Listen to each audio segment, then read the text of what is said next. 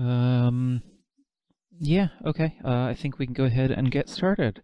So, uh, last week in our last workshop, what we did was we did a really basic uh, introduction to 3D modeling in Blender, where we made a pencil by starting with some uh, cylinders and then using some of the basic extrude and scale and move tools just to turn our cylinders into the pencil stick, the tip, the the cap, and the rubber uh, eraser at the very end. And at the end of our class, we did some really quick and basic introductions to applying materials to different parts of our objects to give it a kind of quick uh, pencil look. Continuing on from the end of last week, what we're going to do is go a little bit more in depth on the subject of materials, uh, lighting, and rendering in Blender. Now, this is going to be a super basic introductory overview because rendering in any software, but in, in advanced VFX software like Blender or Maya or Max or anything like that in particular, uh, it can be a big, deep rabbit hole of best practices and people's opinions on settings and how to tweak things for performance or tweak things for realism or special effects or we're going to avoid all of that stuff. This is going to be a really broad introductory overview to um, the render engines in Blender, the lighting options in Blender, the materials in Blender, and um, just to give people who are completely new a, an idea of what tools and what options are available just to get started. Um, we're not going to go into like super advanced nitty gritty depth on this stuff. Um, so to get started, uh, if we go over to the right hand side to our properties panel, uh, we can go to this one that looks like a little DSLR camera. It's called render properties. And if we go in here, we can see that under render engines, we have three render engines in Blender by default. So out of the box, there are three render engines in Blender, but we can um, add more to Blender with add-ons. So there's like LuxRender or RenderMan, a few others. Um, we're not going to go into those because, again, advanced stuff. We're just going to focus on, you, you, know, you've just installed Blender. What does it come with out of the box? Um, so the three that come out of the box with Blender are Eevee, Workbench, and Cycles. And Cycles we're going to cover later in the class because they kind of go hand in hand. They both use a PBR shading model and their materials are fairly interchangeable. Um, so we're going to start off with Workbench. Um, and actually, Workbench is what you're seeing in the viewport right now. So Workbench is what you're probably going to be seeing in the viewport most of the time um, because it is the quickest uh, and most lightweight render uh, engine in Blender used for previewing your models as you're setting up your scene, as you're sculpting and modeling, um, just so you have like the lowest performance impact in the viewport as you work on your models. Um, if we go to the bottom right of our 3D viewport, um, we introduced this in some of the last classes, but you have four render modes in the viewport by default. So you have wireframe, you have solid view, you have material view, and then you have rendered view. Um, the wireframe is good for obviously getting an idea of like the actual topology of your objects. Um, and if you've got your X-ray mode enabled here, you can actually see through into the other objects. It can be useful for kind of seeing through your scene. Um, so that can be helpful. Um, in solid view, you can also uh, turn on your x-ray view with this little uh, square within a square uh, button and get kind of a translucent look at your scene uh, without having to go into like the wireframe view, which can sometimes, uh, because you lose the shading, it can kind of flatten everything in your scene out, make it hard to tell the shapes and contours of your objects.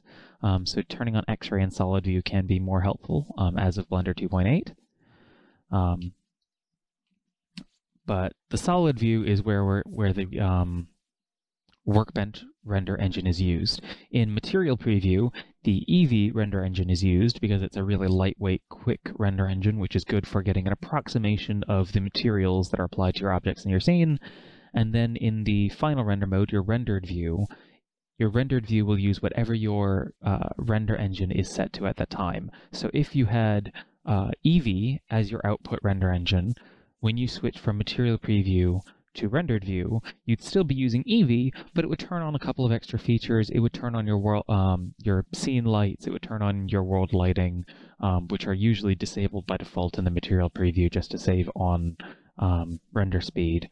Um, but if you had cycles, then it would be using cycles and do some path tracing in the viewport. Again, we'll get into those later. Right now we're focusing on Workbench in the solid view mode.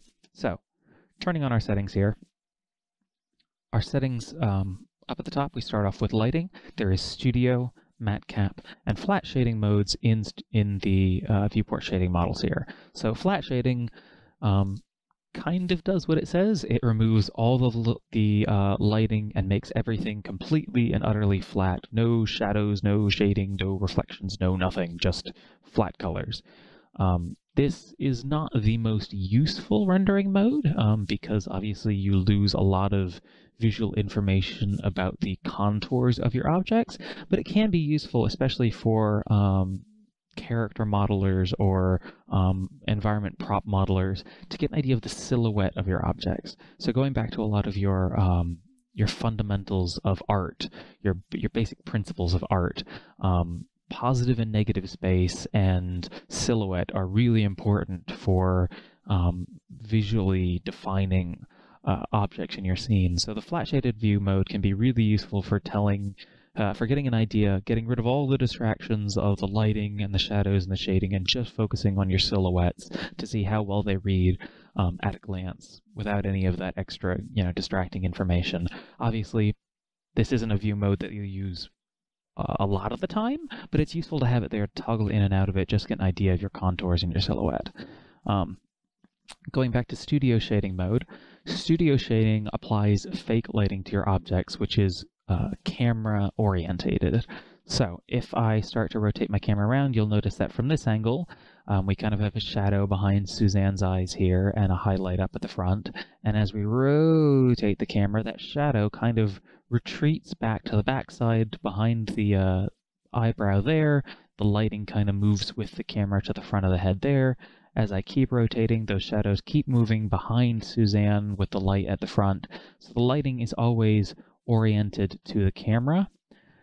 Um, and if I go to my options here, you can see that the reason that the shadows are on the back side and the lighting's on the front side is because our lights are set up where you can see there's a little bit of lighting on the front and shadows on like the back side. Um, there are a handful of preset studio lighting modes or studio lighting setups um, in Blender um, that you can pick and choose between depending on you know what you think looks good and what emphasizes the contours of your objects better. Um, so these can be useful for different things, like that one where the lights are from the side can really kind of uh, highlight and emphasize the silhouette and the edge contours of your objects. Um, whereas some of these other three-point lighting modes are more useful for seeing the contours from the front.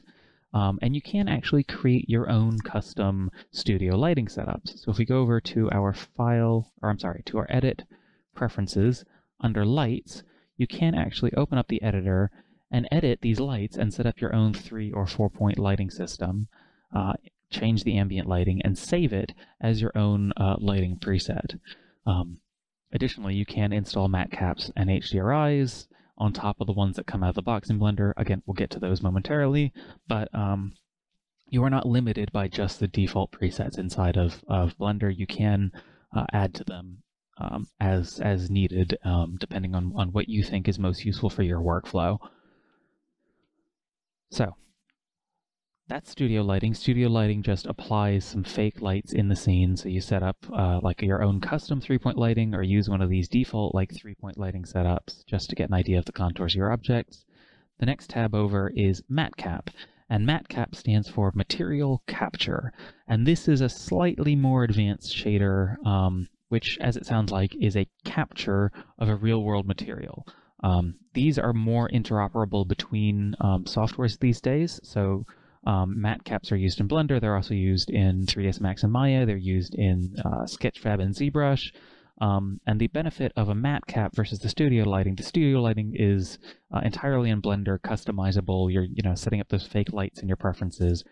A matcap actually is a like a snapshot of a material in a specific scene with a specific lighting scenario. So if I go over to like this uh, red one here, um, this is like an anodized aluminium or maybe like a car paint material. Um, and you can kind of see in the reflection here that um, they were using a, a, a, octagonal uh, studio umbrella light when they captured this surface, and it looks like there's kind of a checker grid um, floor underneath that it's also reflecting in this material. Um, and then as we go down, we could go to like this gray one, and you can see like there's some windows and reflections in this. This might be like a, a room interior um, captured with like a really shiny porcelain or something. Um, and some of these other ones, like you get this like weird uh, anisotropic, like brushed metal effect, um, and and different, and that's like a cartoony shader. Different matcaps are useful for different things. Um, the really shiny ones I find are super useful for really getting a, a really strong idea of the um, the contours and where you might have pinching and stretching on your model. So Suzanne here is fairly um, smooth over overall. There's not a ton of, of pinching and stretching that we need to worry about um, with Suzanne, but um, you can see here like this this shiny reflection shows us there's like she has a little dimple in her temple here, which in some of the more flat shaded modes you might struggle to notice. Um, so the matcaps I find to be really useful for picking out different properties of your surface that even studio lighting might um, might make it hard to notice. Um, some of these weird ones, like these vertical or horizontal stripes, can really give you an idea of the contours and where the, like the corners and curvature on your object is. Um, but knowing you have these available to you and that you can install custom ones if you find ones that you like on the internet or make your own um, it, it is good to have these tools available to you and know that they are options that you have. Um, now, as you can see, all the colors of our Suzanne heads in our scene um, are different. So underneath our studio and matcap lighting, we have the colors section, and right now I have it set to random. And what random does is basically what it says. Each object in our scene is assigned a randomized color, and this can be super useful when you're working on big projects with lots of objects in the scene. Instead of, you know, having to by hand make every single object a separate color by changing its settings, it will just randomize colors for all of the objects and help uh, help you at a glance differentiate and break up and see which objects are where. Um, the color is determined by the name. So if we were to change the name of Suzanne here to Monkey or Moki, because I can't spell, um, the color changed a little bit there. Let me change it to something really different. Just randomly type on my keyboard and you can get a good pop preview there. So we went from like a light purple or a light blue to like a pinkish color. If I change this to like Jeff, then it turned into like a teal color. So it's using the name of the object as like the seed to generate the randomized colors. Um, we'll change her name back to Suze for Suzanne. Um, if instead you wanted to manually assign colors to different objects, you have a few different options. So uh, you have material, object, single, and texture. Single will apply a singular color to all of your objects in the scene. So by default, it's like this white color. I could change this to red, everything becomes red, everything becomes green. Um, the single mode I don't find to be super useful because it means that um, depending on, on the complexity of your scene, everything can really quickly start blurring together into a haze of singular colors, and it just it doesn't help everything stand out from one another. It doesn't help you navigate your scene efficiently. Um, perhaps some people prefer it. I really don't like single. I like random or object and material where I set them by hand. Material uh, allows you to change under materials. So in our properties, this little like red grid bubble icon is our materials. And you can see that our surface material is orange, but our material in the viewport is blue. Um, I did this intentionally to show that, in fact, your viewport display can be set to whatever color you want, and that color can arbitrarily, if you decide, be a different color than the actual color of the object. Um, so if for some reason you were trying to organize objects in your scene by material using uh, a color coding scheme. So all the blue stuff is metal, and all the uh, red stuff is rubber, and all the, the green stuff is, is a plexiglass. You could do that and make the um, viewport display a really bold color separately entirely from your actual surface color when you go to render it in your final um, animation or your final still image. Um, Additionally, you can go to Object and use Object Colors. Our object colors have nothing to do with our materials and are actually assigned per object. So if we go over here to this one that looks like um, a filled-in square with like a little square um, reticle surrounding it, um, are object properties. Down under viewport display, you can see that the color for the viewport display can be set per object. Um, to make this a little bit more clear, if I were to duplicate Suzanne here, our materials, you can see there are two objects sharing this material. They are both using the same material. So if I were to go to material shading mode, you can see that they are both sharing the same material, they are both sh sharing the same material color. However, because these are separate objects, when I go to object shading mode, eh, I could change just the second duplicate of Suzanne to a different color. So you can have two objects that say, uh, share the same material, share the same material colors, um, but have different object colors to differentiate them. Um, the situations where this might come up are a little bit um, like niche and nuanced, but it's useful to have it. Uh, if you need it, you have it. So we have material, we have object, we have vertex color. Vertex color is assigned from our vertex paint mode.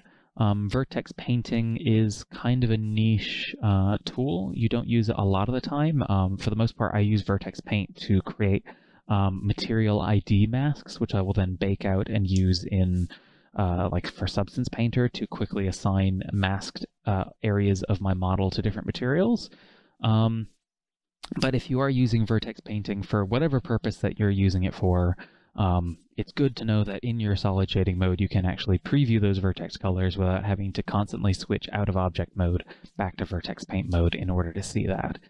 Um, and then you have texture view. Texture view will actually let you see whatever texture you have selected in your shaders. So in our shaders, I'm going to go ahead and hover into the corner and break off a new window in our viewport and set this to our shader editor. And you can see that I have a couple of textures actually assigned to this Suzanne. Um, and so if I start plugging these in, plug these in, you can see that I can switch back and forth and it will show me the textures that are assigned to Suzanne at the time. So if you don't want to switch to your full material preview, because material preview can be exceptionally slow at times, uh, depending on the power of your hardware and how many textures and things have to be loaded into your scene, um, you can get a quick preview of just your like UV unwrapping by using the texture shading or your texture color mode in your viewport shading. Um, so yeah, super useful to know. I'm going to go ahead and go back to random just to uh, go back to our like basic preview. Random is what I prefer for most of the time. So below that, we have this option called backface culling. So backface culling, um, we introduced this a little bit in the last class, but a, uh, a face for an object in Blender has an orientation. It has a normal. And that orientation, that normal direction, tells you which is the outside of the object and which is the inside of the object. Um, backface culling basically as I rotate, you can see the, the floor plane that I've got selected here is visible from the top, but invisible from the bottom. If I turn off backface culling, it will become visible. The backface culling is basically a performance saving option, um, which is turned on by default in most uh, like video game engines and stuff. Um, sometimes you'll notice that if you clip through objects, you can kind of see through the world um, because backface culling is usually enabled by default.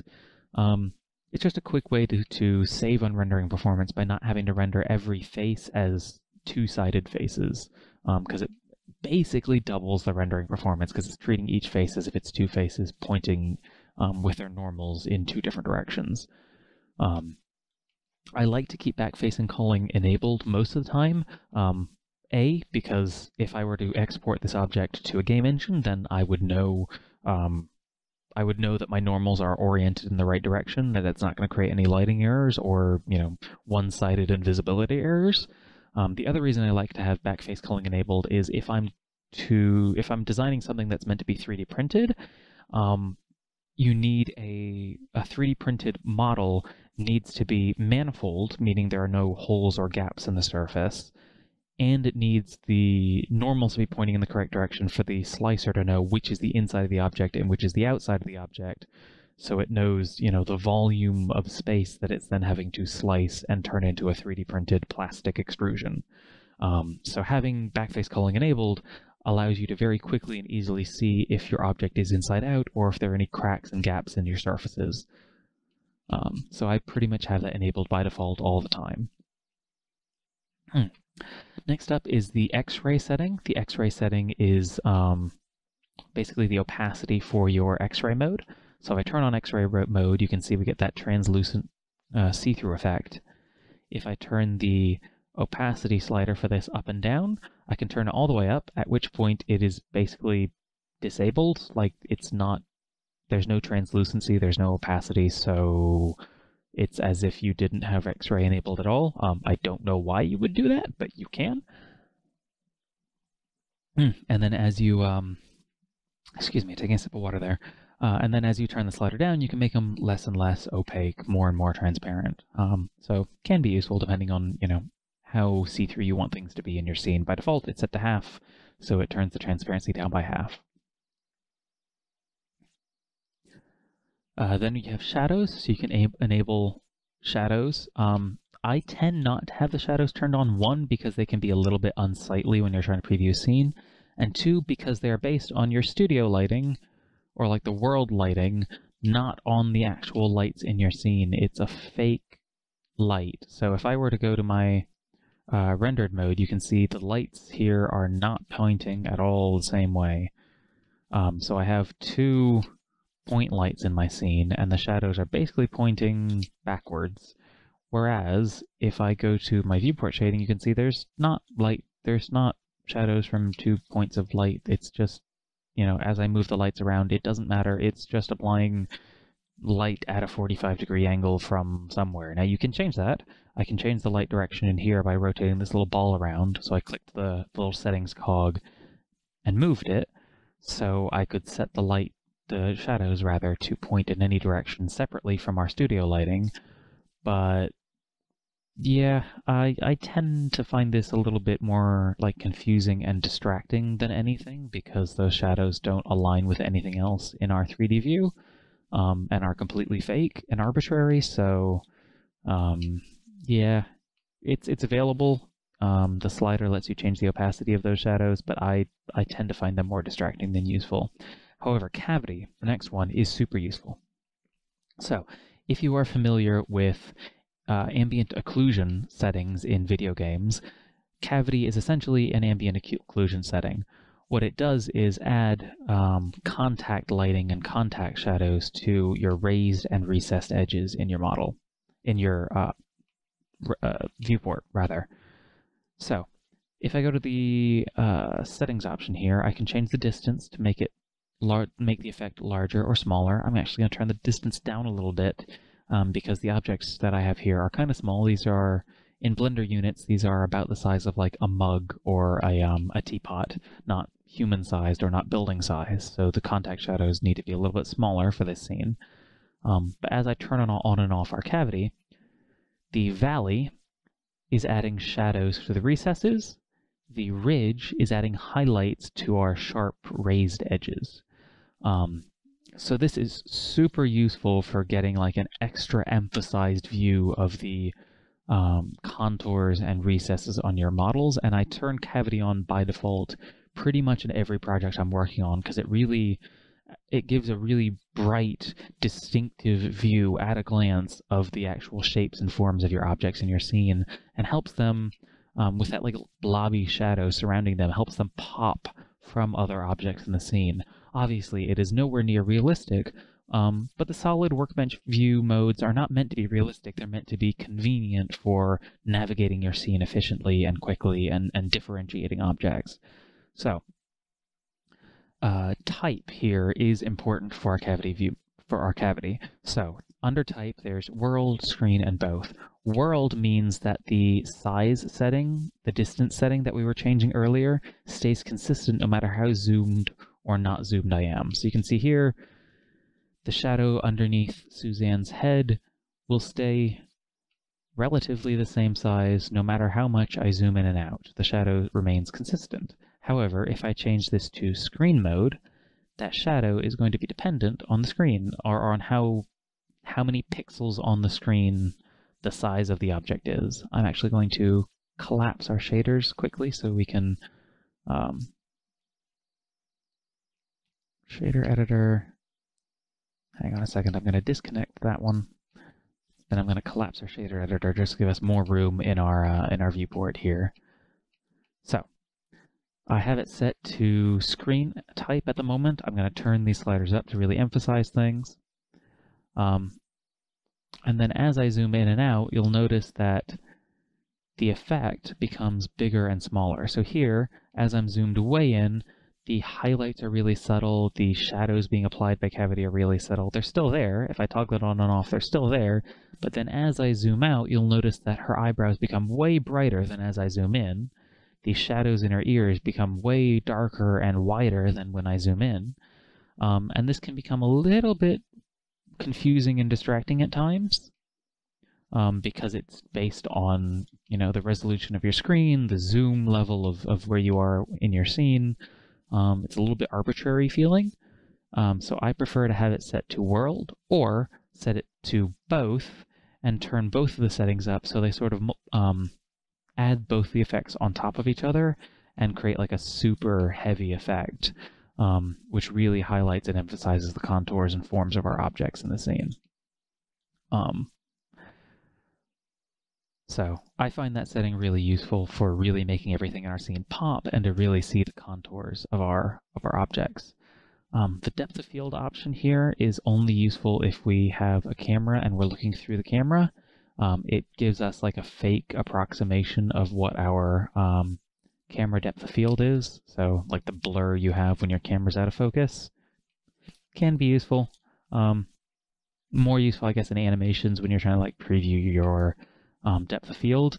But the depth of field there is separate from the ones in like Eevee and Cycles. So if you want to like get an idea of what your camera really is going to look like in your final render, I would recommend going over to your rendered mode, which again we'll cover uh, a little bit later on.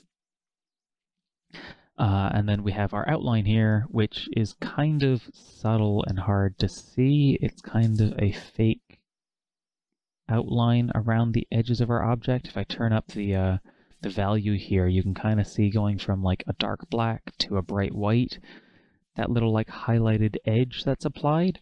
Um, again, it can be useful to kind of help objects pop out from each other if you're navigating a really densely complicated scene. Um, but I find it a little bit distracting. Um, so, you know, depends on what you need, what you want. Um, I tend not to use it, or if I have it, it's turned to black, which I find to be a little bit more subtle um, and look more like a shadow than like a bright, in your in your face highlight. Um, and then specular lighting, lighting just adds like a little bit of shininess and reflectivity to the surface in addition to the studio lighting. So you can kind of see on their foreheads there, they kind of look shiny, like a slightly shiny plastic.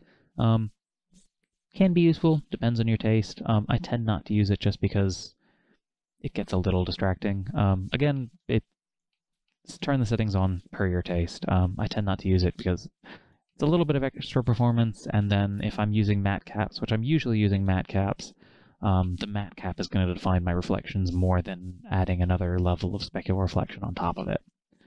So those are our workbench settings. Um, those are everything you need to know about Workbench. Um,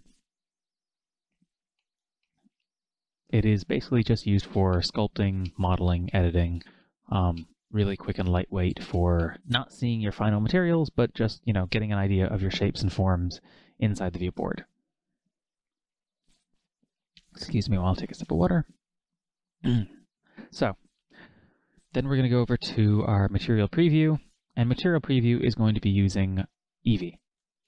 Uh, Eevee versus Cycles, um, just to give a quick brief overview before we dive into their settings in the next section. Eevee is a lightweight rasterization render engine, uh, which is you can think of essentially like a video game engine, which uh, applies quick, fake, approximated lighting um, which is not as photorealistic as true path tracing, like Cycles does.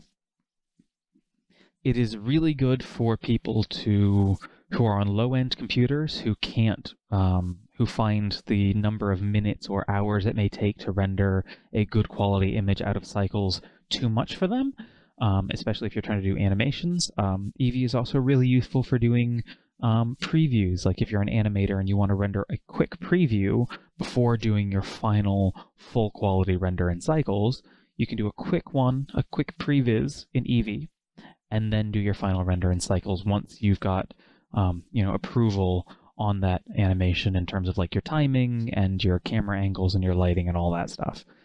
Um, there are downsides to Eevee. Eevee is definitely not a replacement for Cycles. Um, a lot of people will use it as a replacement for Cycles because they can't really tell the difference, but there are deficiencies um, doing rasterization versus Cycles full-on rendering, which we'll get to um, momentarily. So our material preview here, separately from our rendered view, um, there's a few options, scene lights, scene world, and then world settings. So if I turn on scene lights, you'll notice that suddenly I get the lighting from these two lamps, and as I move them around, I get the shadows from those lamps.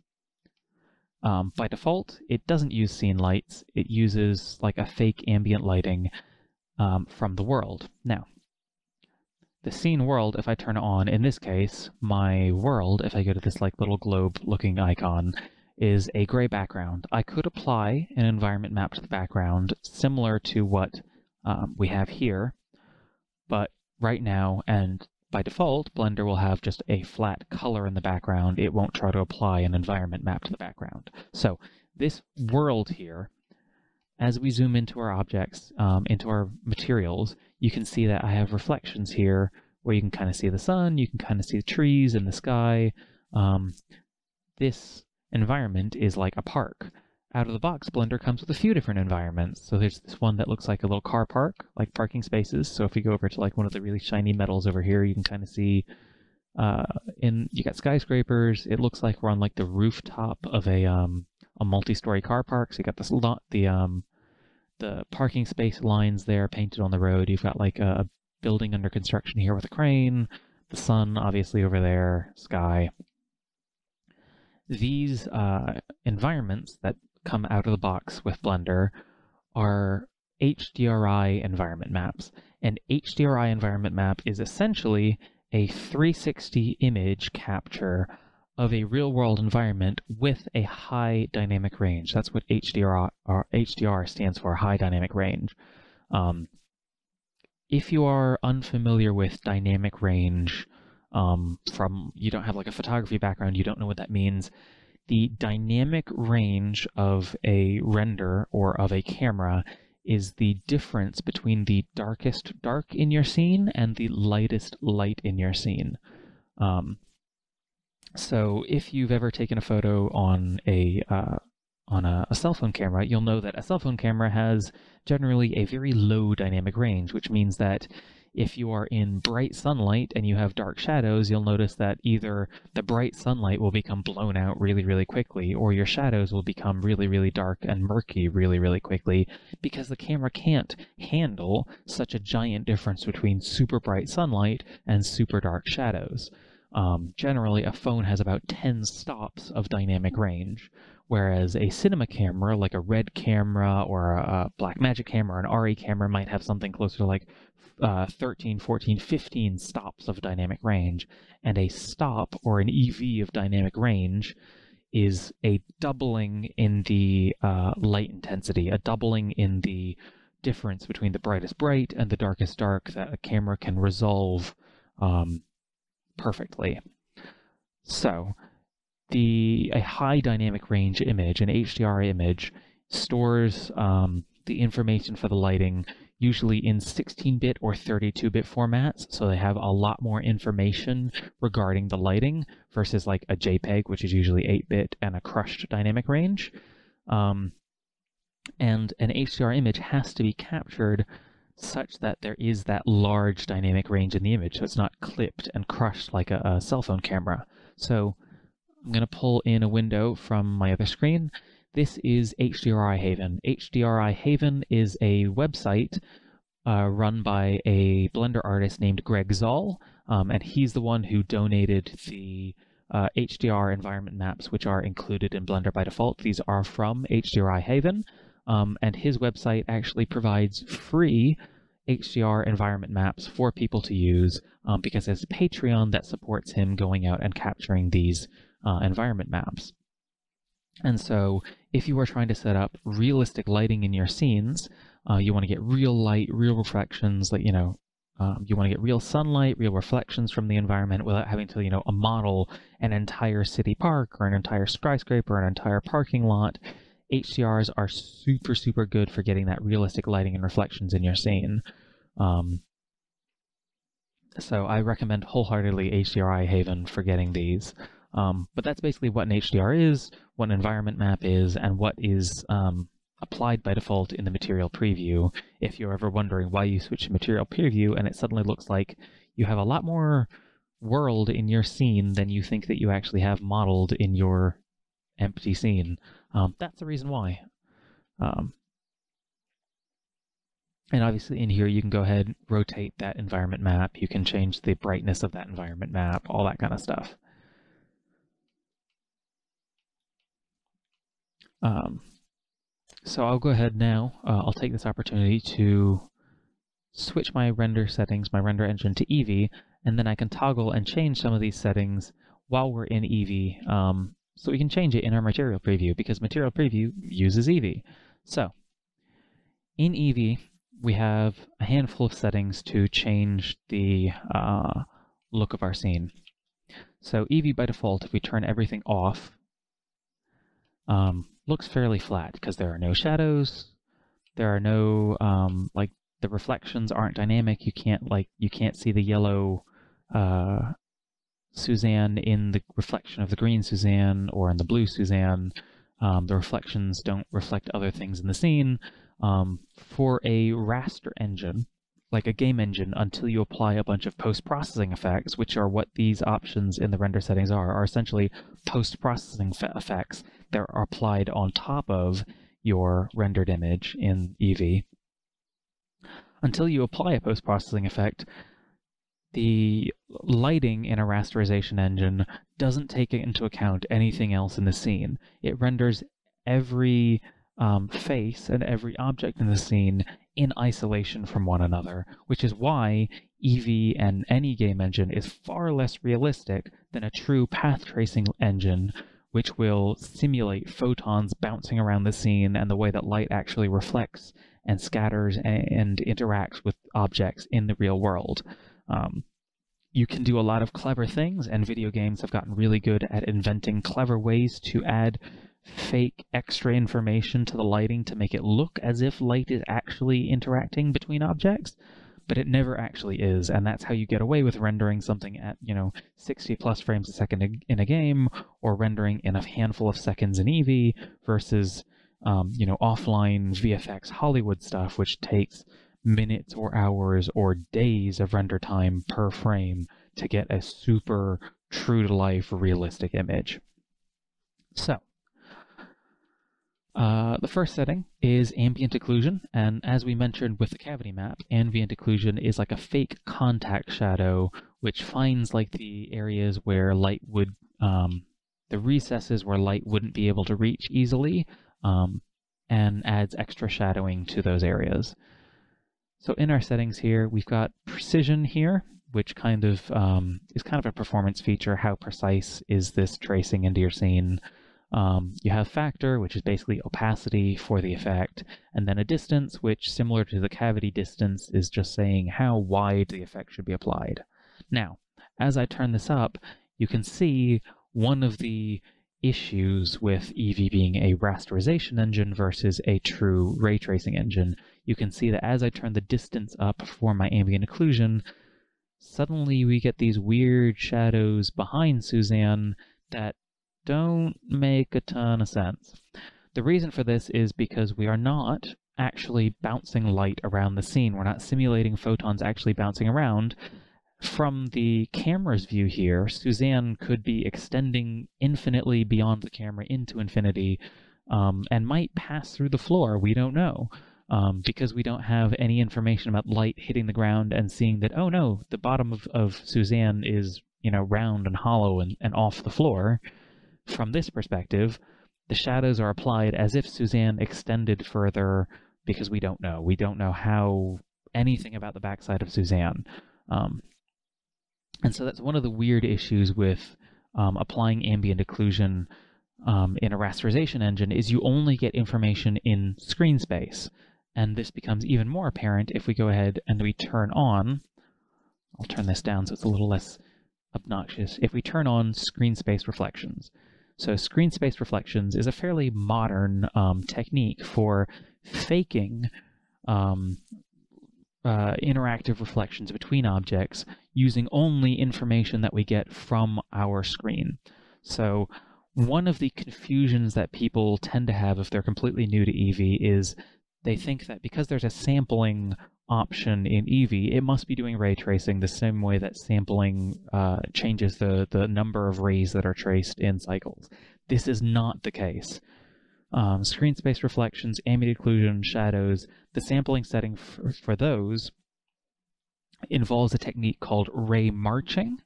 Um, and what ray marching is doing is using a depth pass from the camera to then kind of do a quick and dirty fake ray tracing-ish effect using only information from what the camera captured to that frame. It knows nothing about any actual um, light bounces in the scene or anything beyond the camera.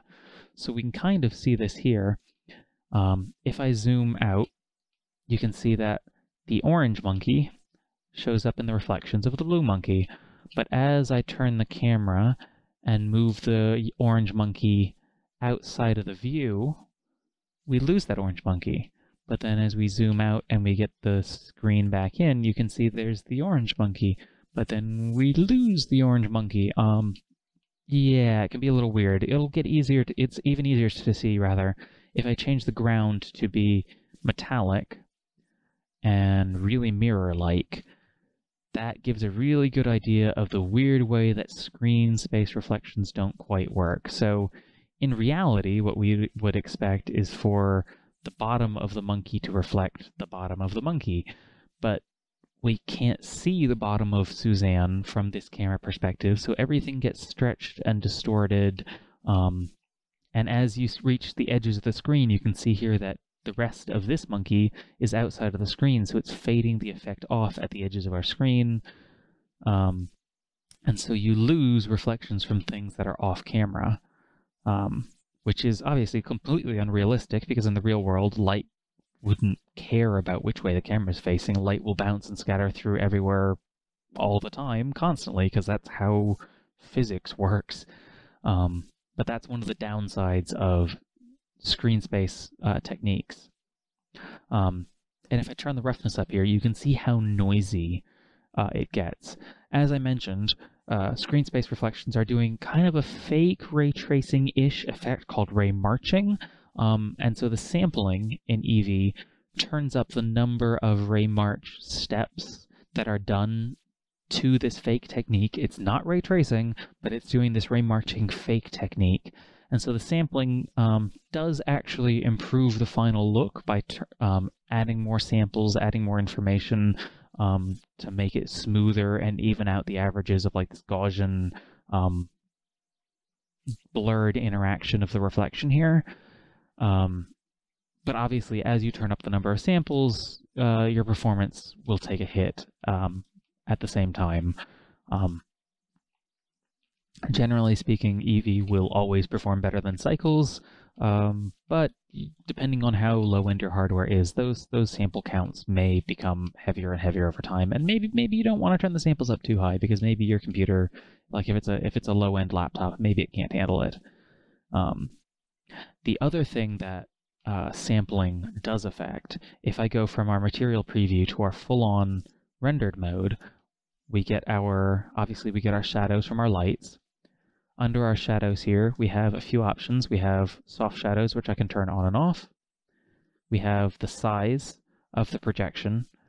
So the way that a raster, um, a raster shadow is done is it basically uses the light as a as a projector, like a camera, and and goes, okay, from this perspective, what can I see? What can't I see? Anything I can see, I definitely um, must be in, in light because I can see it. Anything I can't see must be in shadow because I can't see it. And so that's essentially the projecting method that um, shadows in a rasterization engine use. And because it's projecting this, um, this shadow, it's projecting it at a certain resolution.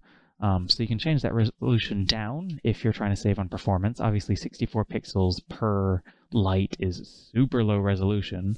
Um, and you can turn it up to like 4K per light, but you're still going to get that little bit of like a, a aliased effect at the edges. So if I go to go down to 1024, you're still getting that stair-steppy effect. If I turn on soft shadows, um, obviously in the real world, um, you can diffuse a shadow. Shadows will kind of blur depending on how wide the light source is. Um, the soft shadow effect, how they accomplish it in Eevee, because it's raster, it's not ray traced, you can't actually um, trace the number of, of bounces of the light to create true soft shadows. You can kind of see here how it does it. As I move the camera, it does like a, uh, you can see everything kind of pop, and what it does is it does multiple projections of the light from slightly different positions and then tries to like blend them together to create like an overlapping blur to soften the shadows. And that's what the sampling for shadows does. As I turn up the number of samples, it does more and more of those projections from more and more angles. And so the blur, the com combined blur becomes softer and softer um, and more more uh, high quality because you have more samples, more projections, but obviously that gets slower and slower because you're having to do more and more light projections um, as you change from, you know, 1 to 2 to 125 samples. Um, and then the last setting that we didn't, or the last common setting that we didn't touch on really quickly is bloom, bloom is that like glow effect that you get in cameras where uh, a really bright light is like scattering um, inside the lens. Um, kind of J.J. Abrams lens flare effect.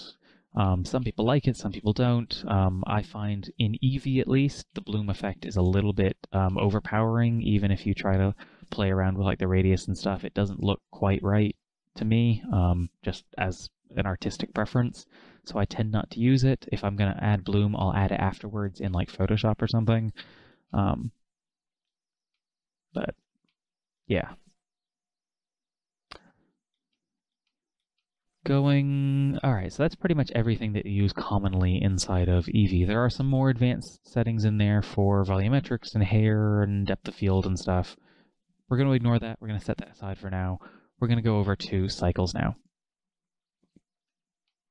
So, Cycles, as you can kind of see with all the noise in the viewport right now, Cycles is a true path tracing render engine, which means that it actually, um, from the camera's perspective, it will actually shoot out a bunch of photons of light and watch how they bounce around, trace light from the from your lamps in the scene, capture reflections from the photons bouncing around the scene, so you get true realistic reflections, true realistic lighting with a path tracing render engine.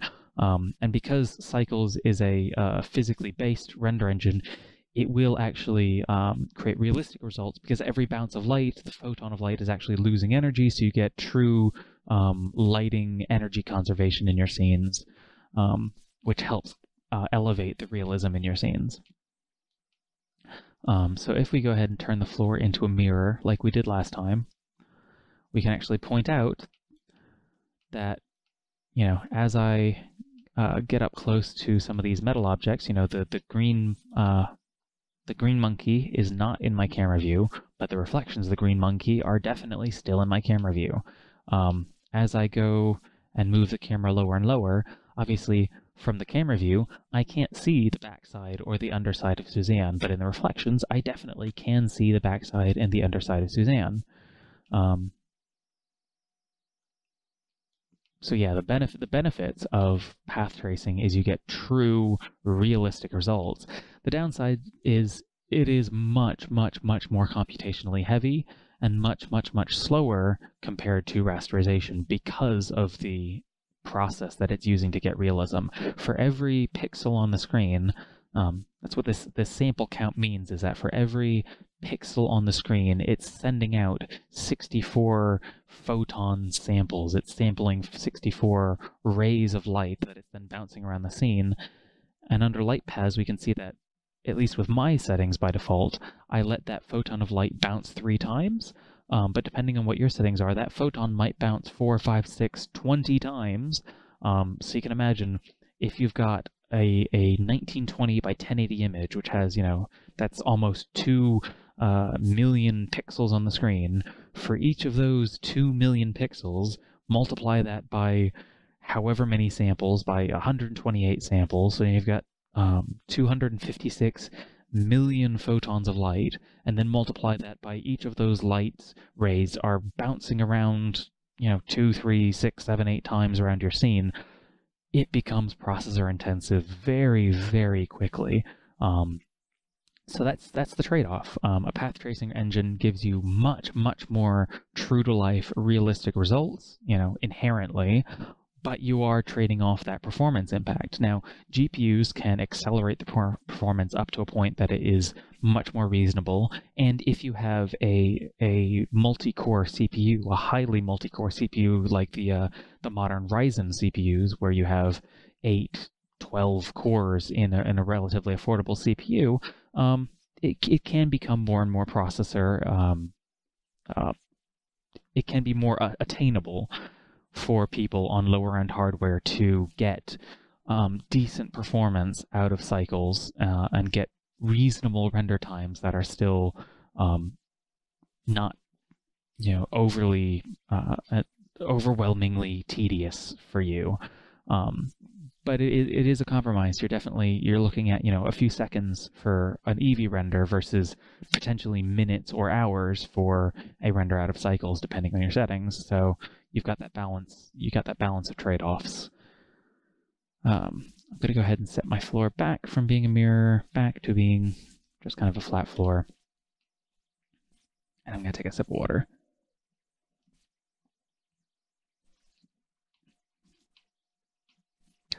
Um, so with with cycles, it is on the one hand, the settings are a lot um, simpler. There's fewer of them because you're not worried so much about like adding extra passes of post-processing effects to your scene. You're only dealing with, you know, how many samples and how uh, many bounces for those samples. However, you, you can get into an entire rabbit hole with cycles in terms of how people prefer to like tweak their settings here, tweak their settings there to get a little bit more performance, but a little bit less realism, all that kind of stuff. Basically, as far as cycles goes, the things you worry about are what device you're using, CPU or GPU. Um, if you don't have GPU available to you, when you go to your preferences under System, make sure that you've got um, either CUDA or OpenCL enabled and check off that you're actually um, that Blender is allowed to use your GPUs for um, rendering. Um, OptiX is something that's being implemented. It's currently kind of a work in progress in Blender. OptiX is um, basically it takes advantage of RTX cards um, to do accelerated ray tracing with RTX hardware. Um, so if you have a modern um, 20 series uh, NVIDIA GPU, uh, maybe experiment with OptiX. As of 2.82, there are still some features in Blender which OptiX um, is not able to do. Um, so basically check, if, if you're checking on OptiX in the future, um, read up on how OptiX has been developed. You can see somewhere in the range of like 20 to 35% render time increases using OptiX. Um, and you also have available to you some like uh, AI denoising developed by Intel when you're using OptiX mode. Um, but it's currently um, still kind of in a beta phase. So I, I, still use CUDA just because I need a few of those render features, which are currently unavailable in OptiX. Um, anyway, if you if you have your device set to CPU, obviously it will be only using your CPU, which um, is generally a lot slower than GPU rendering. Um, whereas if you got it set to GPU compute, it will generally be a lot faster than CPU rendering. Um, so make sure you got your device set to the correct thing. Your sample settings here, you've got viewport samples, which is what you're seeing in the 3D view right now to get a quick preview of what your final render will be. And then your render settings are when you hit F12 to do a full final render from your camera's perspective, it will use that sample number. So you can have uh, a quick, a low number of samples in your viewport to get quick previews, and then have a much higher uh, sample setting for your final renders to get that extra quality when you're ready to just hit F12 and then, you know, go get a cup, cup of coffee, come back, see if your render's finished, that kind of thing. Um, again, we're not going to get under advanced or any of these other other things. Um, the only other setting I'll touch on briefly is over here under max bounces. Um, you can set the total number of bounces, the total max number of bounces for the light in your scene, and then separately change the number of bounces that are allowed for rays that are diffuse, uh, glossy, the reflections, transparency, transmission volume.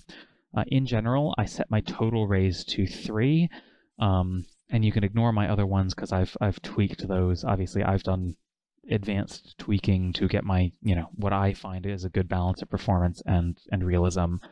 Um, I have my max bounces set to three simply because uh, in all of my testing that I've done, and I will go ahead and link a an article in the description of the video where somebody else has a, a really good uh, demonstration.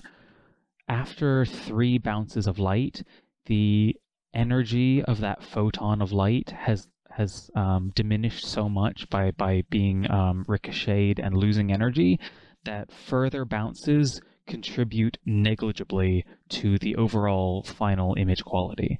Um, so for the first couple of bounces of of, of lighting, um, it contributes a lot to your reflections and to like um, internal reflections. So like if I only had um, one bounce of light in the ears here, I'll go ahead and demonstrate this if I turn down the number of bounces of light to like zero, obviously I get direct lighting, but I don't get any reflections.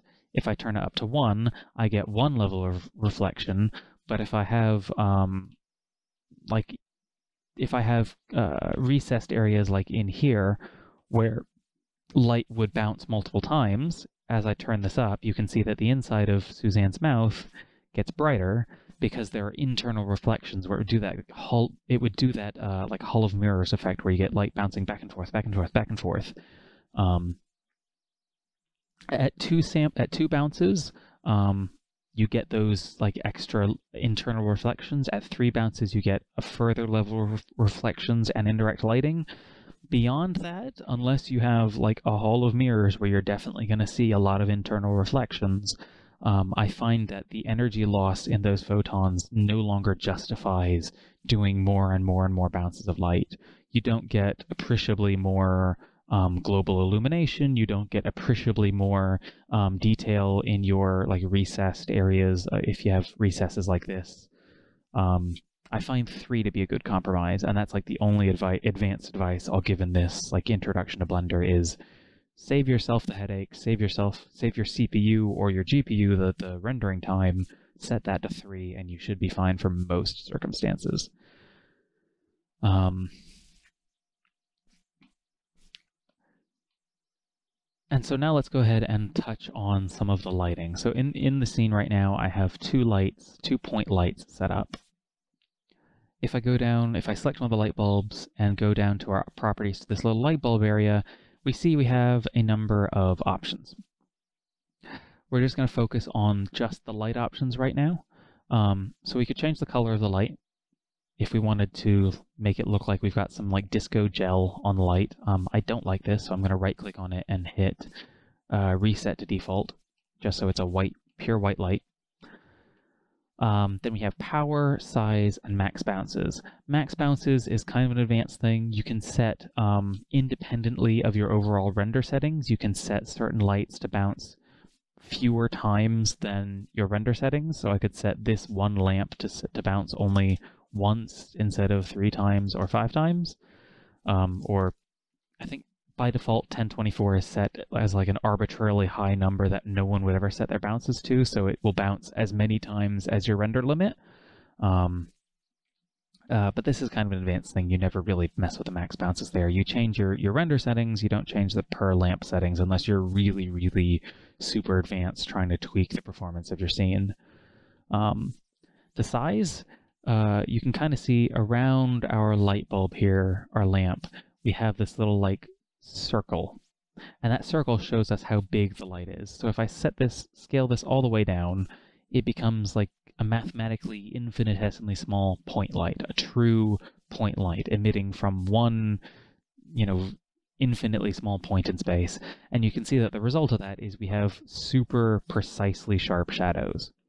Um, in the real world, lights generally aren't infinitely small, mathematically perfect points. They aren't black holes or anything like that. Um, like a light bulb with a diffuser will generally be, you know, like an inch and a half across. And so these being the sizes of mugs, if I set it to 0.04 meters, 4 centimeters, that'll be about an inch and a half across.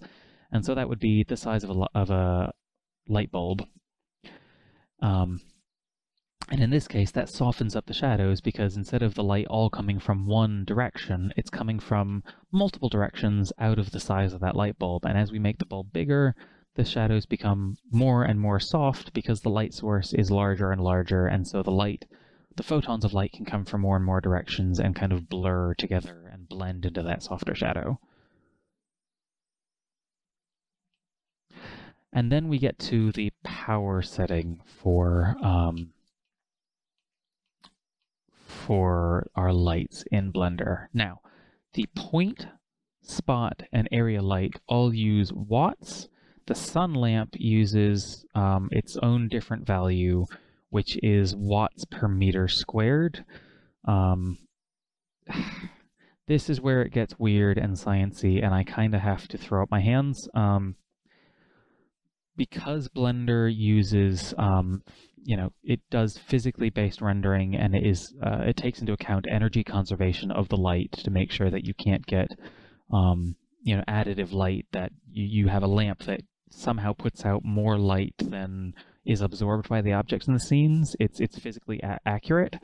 Um, the under the hood the light is actually treating uh, each photon with a certain amount of energy that then gets dissipated for every reflection as it's absorbed by the objects in the scene. Um, however, that wattage isn't useful in the way that you'd think it'd be useful. So uh, at a glance, you think, oh, 50 watts is like a 50 watt light bulb. Like if I had a, a 60 watt incandescent light bulb in my house, I would just put in 60 and it would match in Blender. That is not the case. Um, the reason that's not the case is because a 60 watt light bulb doesn't actually put out 60 watts of light. Um, incandescent light bulbs, as we know, are super, super inefficient because it turns most of the power from your wall into heat instead of light and energy. Um, which is why we changed over to fluorescent CFLs, and then nowadays we're using LEDs because an 8 watt LED light bulb can put out the same relative brightness of light as a 60 watt incandescent bulb because it's far more efficient and turns less of the energy from the wall into heat and more of it straight into brightness. Um, there are some videos out there from un- under-informed um, Blender users, so on YouTube um, and in a few of the Blender forums, where people are suggesting, oh, use this calculator to convert from lumens to watts. Don't do that. That doesn't work.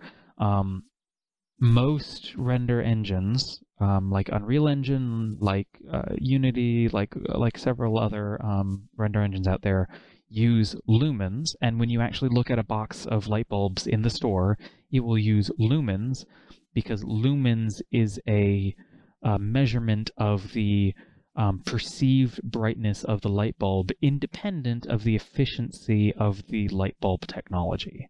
So an 800 lumen light bulb, a 60 watt incandescent light bulb is usually 800 or 900 lumens. So an 800 lumen incandescent light bulb will have the same perceived brightness as an 800 lumen LED bulb, even though one uses 60 watts because it's inefficient and one uses 8 watts because it is super efficient. The lumens are identical for the same perceived brightness. And that's the problem with a lot of people who suggest these tools of convert lumens into watts and then put the watts into Blender. Well, no, because that would mean that for the same lumens, a, an incandescent bulb would be brighter in Blender than a LED bulb because the LED bulb is more efficient. That's wrong. That is totally wrong. Ignore people who are suggesting that. They are confused and wrong. Um, unfortunately, the math behind the wattage of the power of a photon from a light bulb is confusing because you get into irradiance and luminance and candelas and flux and like candelas are measured in the amount of light per um, per angular area based on the apex angle of the emitting light source and the lumens are based on the it gets really math mathy and confusing. So this is one of those parts of blender where unfortunately uh, I hope that in future versions of, of, of 2.8 or perhaps 2.9, they go ahead and switch to lumens uh, because that is a far more universal and and um, technology agnostic, uh, artist friendly um, lighting unit. Um, for now, it's kind of a case of set the lights to what looks good for your scene by eye and just tweak it by eye. Um, I have found that to get a fairly realistic result that is also um, artistically pleasing, your sun lamp should be somewhere in the range of 400, uh, power of 400 for like a bright mid-afternoon whereas the power of your point, spot, and area lights should be somewhere in the range of like 40, 50, up to like maybe 100 um, to get like a realistic indoor light bulb look. That is completely independent of like the wattage of a light bulb. Don't don't think in terms of wattage of a light bulb because light bulb technologies are different. Um, somewhere in the range of 40 to 100 for point lights and spotlights is fairly realistic and basically tweak it by eye to what looks good in your scene. So, setting that discussion aside, uh, point lights obviously they they uh, project light in every uniformly in every direction. A spotlight has a cone that focuses light as if it was you know a spotlight or maybe like a lamp with a lampshade,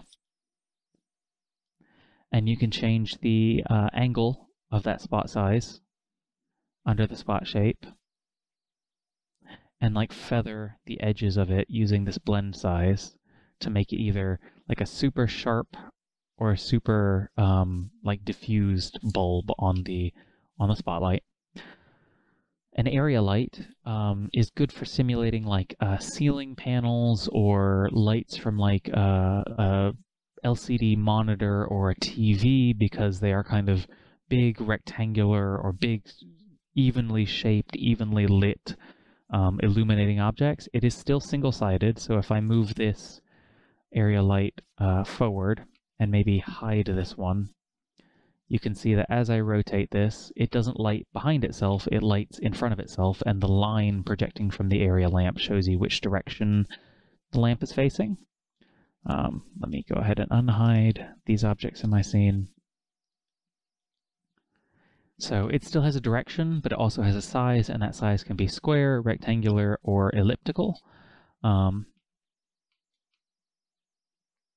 and so this is really good for like, yeah, drop drop ceiling lights, like uh, fluorescent light panels in offices and schools, or um, LCD monitors, or perhaps if you had like a uh, an indoor scene where you had a window with a curtain, you might just use an area light to fake the, the very diffused, even lighting coming through the curtain. Um, that's another option instead of having to actually use um, really heavy translucency effects to try to like simulate it um, realistically. You could sort of fake it with a with an area light. Um, and then the sun lamp uh, projects light basically from infinity in a parallel direction. Um, you can change the angle there to make softer um, shadows, like if the sun was coming through clouds, but um, yeah, so so a, a, spot a sun lamp doesn't have it's not single sided like a spotlight or an area light. It just projects light basically from infinity in a direction constantly, consistently. Um, so now we've gone over our render engines, we've gone over our lights. Now we'll get into the materials a little bit more in depth than we did in the uh, the last one. So I select one of my Suzannes here and go back to her materials we'll go to the surfaces. So we touched on this a little bit when we mentioned that Cycles and Eevee are physically based render engines. And what this means is um, the PBR approach to lighting is an industry standard. Um, the whole idea with um, modern lighting, uh, modern shading models is to approximate how photons actually interact with real surfaces in the real world. Um, and the the current level of of, of uh, research uh, into computer graphics is using a microfacet model, which basically treat surfaces as if they are either completely and perfectly smooth mirrors, or you can imagine taking um, sandpaper to that mirror and scuffing it up, and the reflections would go from being really perfect reflections to being really um, blurry and scattered because now there's a bunch of little uh, micro scratches in the surface or micro facet detail in the surface that then blurs and, and ruins the, the shiny, perfect reflectivity of that surface. Um, the if you add a material to a new object in Blender, so I'll go ahead and add a, uh, not a circle, let's add a sphere. Let's add a sphere to my scene, scale it down, set it to smooth shading mode, and I'll add a new material. When you add a new material to an object in Blender, it will set that uh, surface to be using the principled BSDF shader by default. Now there are other shaders in Blender for um, glass, for hair, for um, volumetrics and things. We're not going to get too much in detail with those advanced shaders. We're going to stick to the principled shader. And the principled shader, for most circumstances, is all you're ever going to need because it is like a one-stop shop, one-size-fits-all, good for most situations kind of shader. The principled uh, shader here is based on a paper from Pixar in 2012 where they were um, what Pixar was trying to accomplish was to make their movies more and more um, visually appealing, and visually appealing things um, in uh, graphics technology is essentially more and more real world, um, having better reflections, better lighting, um, things that look less like weird plastically waxy stuff, like old, like the old Tinker Toy or the old Toy Story.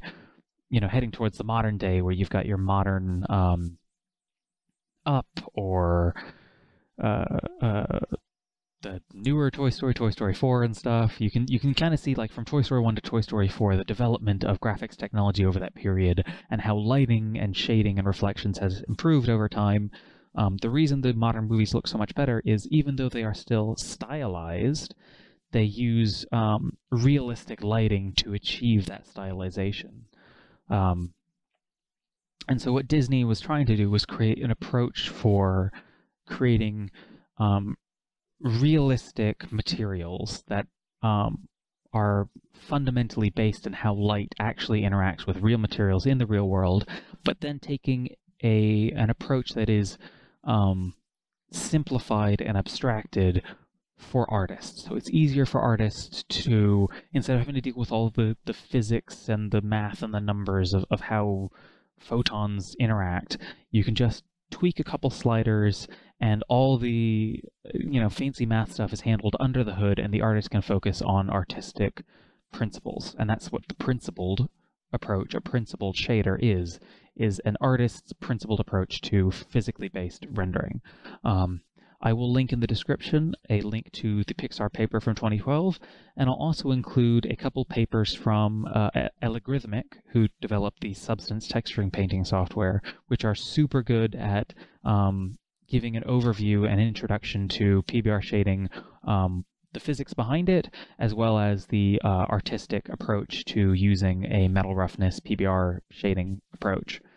Um, so in uh, Blender, using the principled shader, there's basically three settings that you use by default most of the time, and then some advanced ones beyond that. So the default one, the, the three basic ones are your base color, your metalness, and your roughness.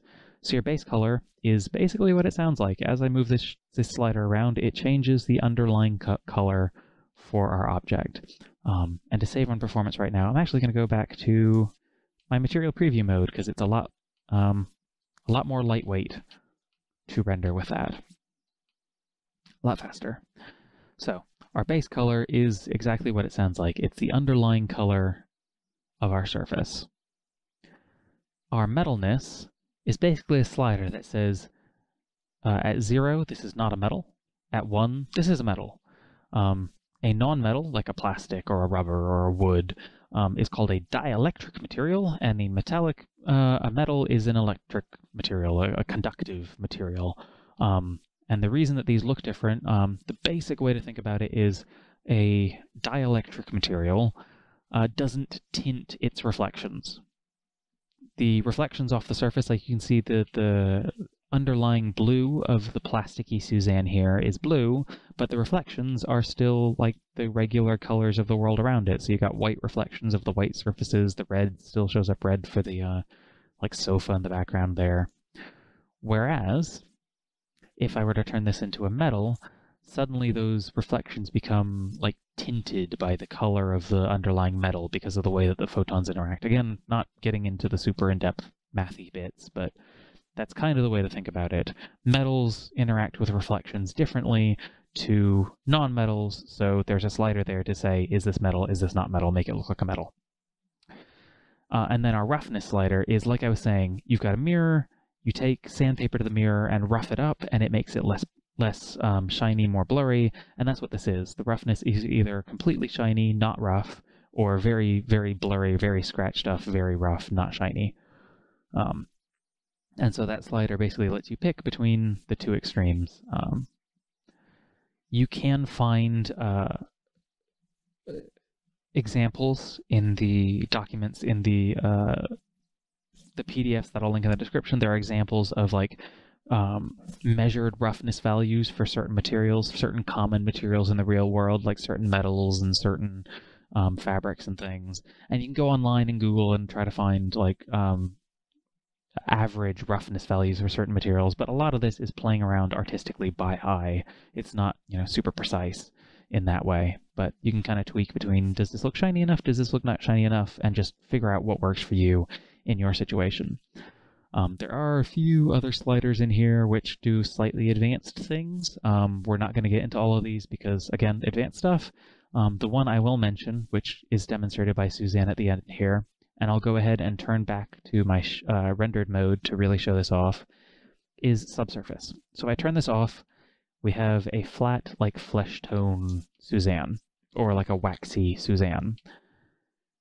And if I go to the backside, you can see that none of the light from these lamps is passing through the object because she's solid. However, in the real world, there are plenty of materials that allow light to pass through it. So if you've ever done um, like shadow puppets, where you shine a light on one side of a blanket and hold up your hand and the shadows cast through the blanket. Um, or you've ever held up a flashlight to the palm of your hand and seen like the red glow as the, as the light glows through your skin.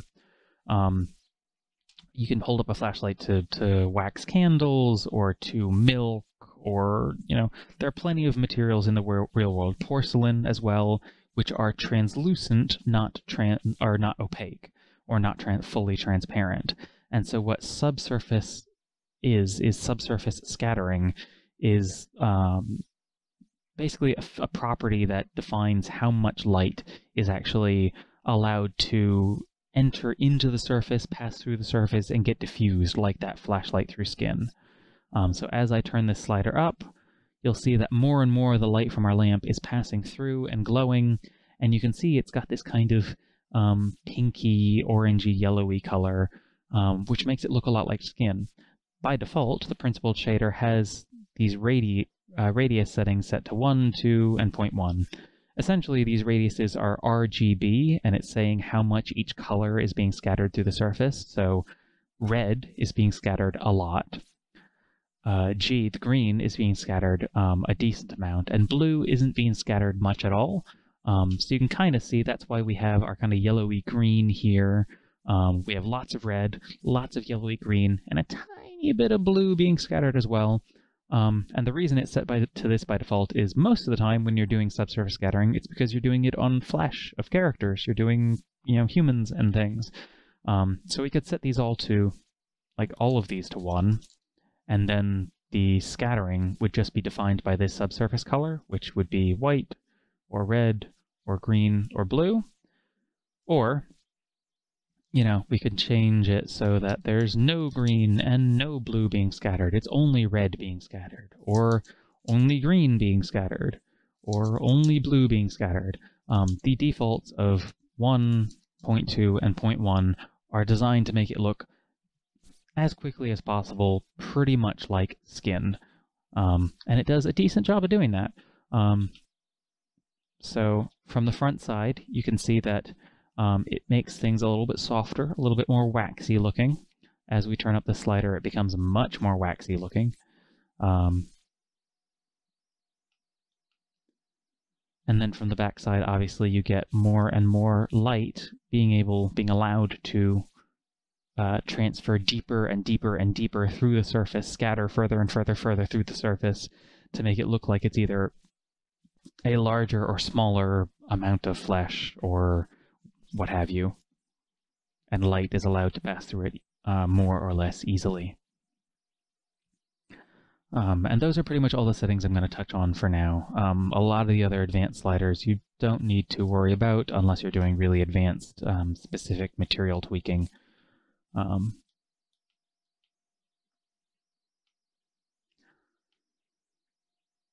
so yeah, that's that's pretty much the overview of everything we wanted to cover this week. Um, again, it probably got sidetracked in a few places as we were going to, as we were kind of discussing um, some of the advanced things that you can get into when you start talking about um, all of these issues of rendering and, and light physics and, and, and proper realistic shading.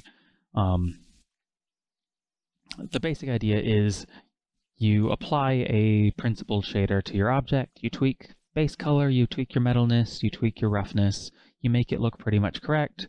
You add lights to your scene and tweak them to the brightness values that you feel are um, best looking and appropriate for your scene. Uh, and then uh, from there, you can go ahead and change your render engine and tweak a few settings depending on what you need. If you have a low-end laptop or you're doing a quick preview and you need something to render fast, use Eevee. Turn on a few of those settings like ambient occlusion and screen space reflections to make it look slightly better um, you know, tweak your shadows and your samples to make them slightly softer and, and look a little bit better. Um, if you want full on as realistic as you can get out of the box of Blender, use cycles, use a decent number of samples so it doesn't look too noisy.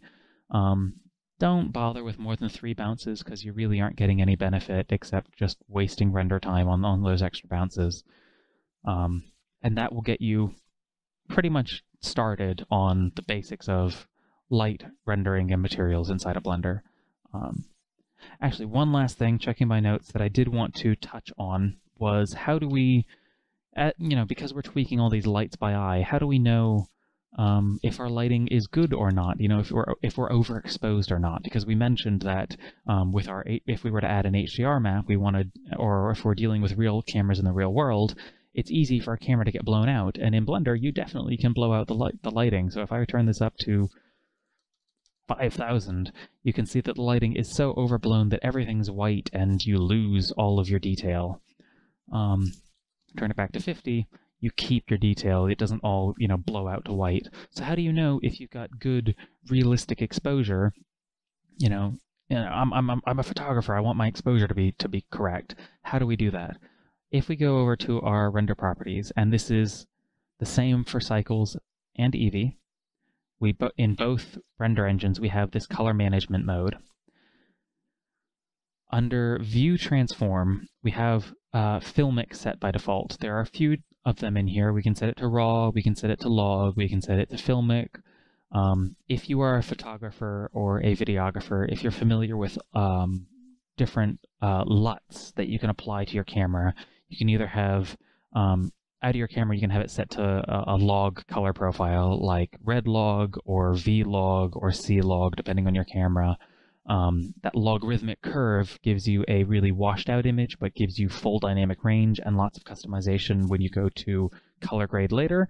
Um, whereas if you were to use like a standard color profile, it would compress your color, your dynamic range and give you, um, you know, as you snap the photo, it might look more saturated and perfect and doesn't require you to color grade, but you're losing dynamic range. So by default, Blender is using the filmic mode, um, which is basically a log mode with a little bit of saturation added in, so it looks pretty good, but but preserves your dynamic range.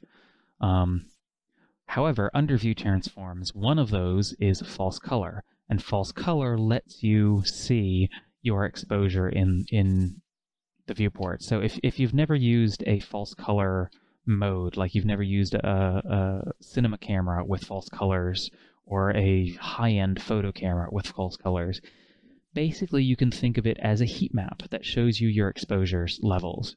Green and gray are good, and then as you get colder into your blues and purples and blacks, that's underexposed. As you get brighter into your, or warmer into your yellows and reds and whites, that's overexposed. So you can see that for, if I switch back to Filmic, obviously um, the white ground and the very pale uh, Suzanne here are going to be a little bit overblown because the light is really close to Suzanne and her skin tone is very, very pale. Um, whereas the uh, Suzanne heads that are in the middle, which are a darker color and less shiny and farther from the light, are more uh, are better exposed. So if I go to my false colors, you can see that the side of Suzanne that is facing the light and closest to the light, and the side of the uh, floor here, which is closest to the light, is starting to get a little bit overexposed. It's not fully overexposed, but it's getting there. And then the ones in the middle are very nicely exposed. And if we wanted to tweak this, we just change our exposure setting. So if I go to my Filmic and turn the exposure up and down, we can see it's it's like changing um, an exposure setting in um, in our camera. And as we go to our false color, you can see that as we turn it down, things start getting blue and black as we start underexposing our image, losing dynamic range. As we turn it up, we start overexposing the image, blowing out our highlights go back to Filmic, obviously we've blown out all these areas. They're pure white. We lose all our detail. As we bring it back, we can go the other way and suddenly things start compressing to black. We're starting to crush our detail and lose detail in the shadows instead of our highlights. And then if we leave it in the middle at 1 or at 0, that'll be our normal exposure, and it will depend on us making sure that our lighting matches a normal exposure. So in our false colors, I can go ahead and say, uh, maybe the maybe the lights are a little bit bright. Maybe if I turn these down to like 25, that will mean that um, the ones in the middle are starting to become less exposed, less nicely exposed. The ones on the end here, because they're metals reflecting a gray background, they're really looking underexposed. Um, but suddenly now over here, we're not as overexposed. Obviously, Suzanne being pale right next to the light, she's still a little bit overexposed, but that's a lot better. Um, so that's how you get good exposure in Blender, even though we don't know the lumens, even though we can't actually set up good real world physical lighting, um, we can still make sure that our exposure um, is good and doesn't overexpose our image, um, doesn't have too high of a dynamic range for our um, virtual camera to capture properly. So, almost forgot to mention that, um, but I just I did want to quickly point that out that even though our lights are a little bit abstract, a little bit you know do it by eye, you can still use um, false colors to get a good idea of your real world exposure, like you would do on your cinema cameras. Um, and even when you render your final image, I'll go ahead and hit render here and render an image. Um, the focus on my camera is way far off, but that's fine. Um, if we open up the little side panel here using the little caret in the corner and go down to scopes, we even have um, histograms and waveforms, so we can actually, in our final image, we can check our exposures much like we would do in Photoshop or much like we would do on a histogram on our camera. So Blender does have a lot of advanced options for people who are trying to get their exposures correct or who come from a cinematography or photography background. Um, but that's as far as I'm going to get into it for this week. Um, so yeah, this one might have been a little bit boring, a little bit information heavy, but this was just uh, like a quick overview of rendering, lighting, and materials in Blender. Basically, how to make things look good. How do you deal with the looks of things in Blender? Um, in our next few lessons, we'll start to get into uh, other areas of Blender. We'll get into things like physics simulations, animations, um, all that kind of stuff. But so far, we've now covered uh, the basics of rendering, the basics of modeling. Um, and in workshops two and three, we kind of jumped the gun a little bit, but we got into like advanced topics of um, modeling and texturing for games. Um, so yeah, hope this was useful to anybody. If we have any questions um, after the recording session, I'll go ahead and do a Q&A on the uh, WebEx live show for anybody who's maybe got lost or maybe wants to get some clarification on things. But for the archive, I'll go ahead and say goodbye now. Cut the video here.